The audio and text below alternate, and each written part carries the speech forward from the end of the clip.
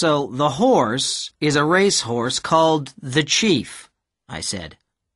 No, I told you, the woman said.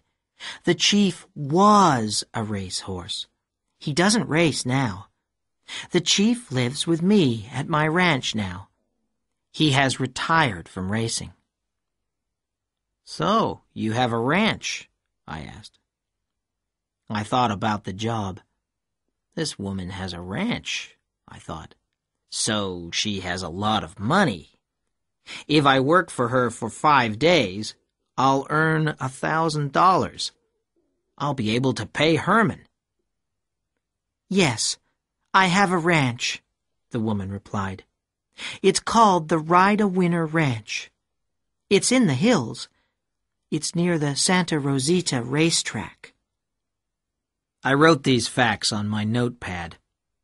I knew about Santa Rosita. It was a small racetrack, but it was very popular.